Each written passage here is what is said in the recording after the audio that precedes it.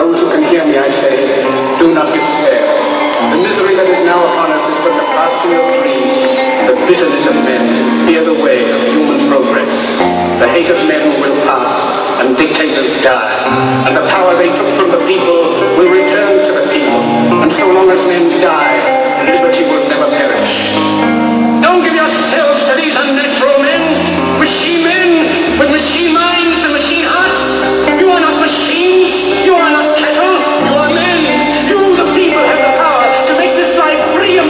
You make this life a wonderful